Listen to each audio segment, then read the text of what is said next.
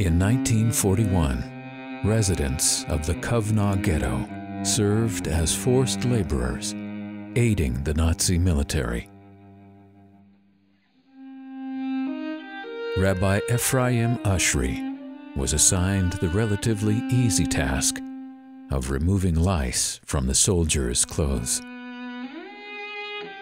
Das hat der Feres Bachirem. Was man jeden Tag gelernt, alle Tag hat man gelernt mit. Und mit dieser Fleißigkeit, und mit dieser Brenn, man sich mit Falpel gewähne lernen. Der Bucher der Zeit, was es gewesen, zusammen in in Kovna Ghetto mit Mataten, hatten gefragt, wo haben die Bucher im Getracht, sich wie eine Eis zuhre? Wo haben sie gehabt, der Kopf zu lernen? Haben sie geämpft, dass weil sie gewiss, dass sie gehen morgen weg von der Welt, haben sie gewiss, dass sie haben nicht mehr wie du auf der Welt noch haben sie so gelähmt, dass ist, wie es kein Wunsch geben, dass Simche, dass er mir Israski. In 1943, Rabbi Shapiro, the rabbi of Kovno, passed away. Bereft of leadership, the people turned to Oshry with their pressing questions regarding Jewish law. He later wrote, The inquiries to which I responded were neither academic questions posed by scholars nor scenarios proposed by eccentrics playing theoretical games.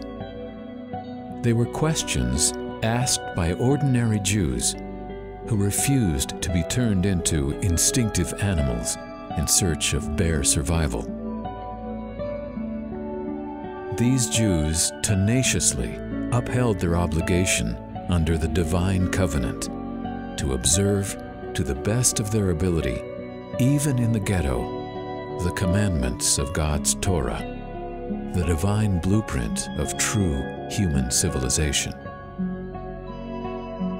Oshry jotted down notes regarding the questions and answers and hid them in the ground.